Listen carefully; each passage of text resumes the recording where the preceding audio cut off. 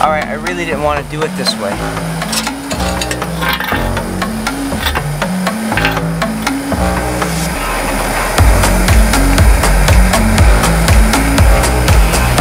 But that's what's gonna be.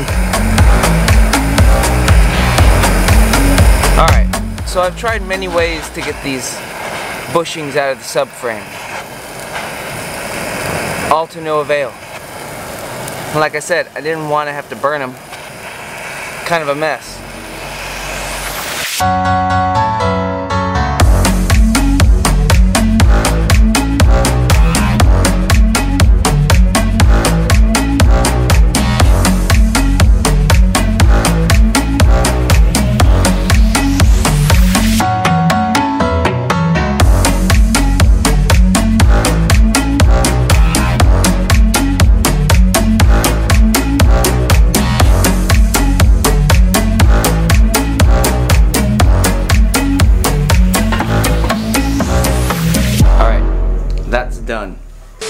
Nope.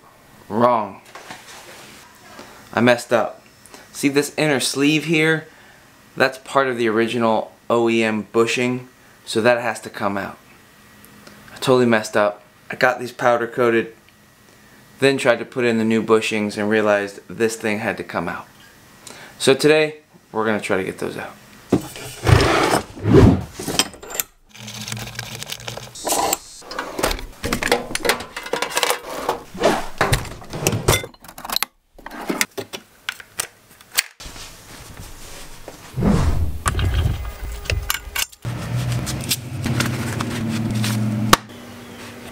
So here goes nothing.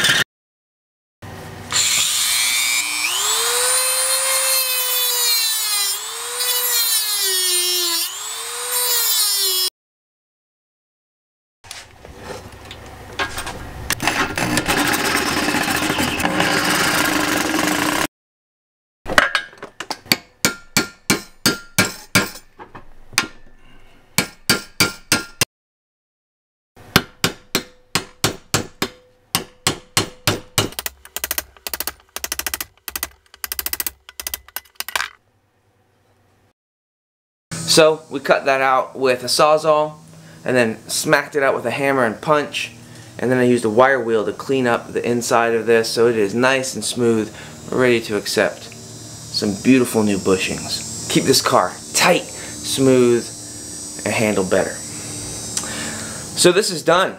Um, reinforce this thing with Condor Speed Shop's reinforcement plates.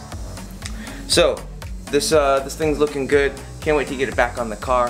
Thank you guys for watching. Please subscribe, buy some merch. We'll see you soon.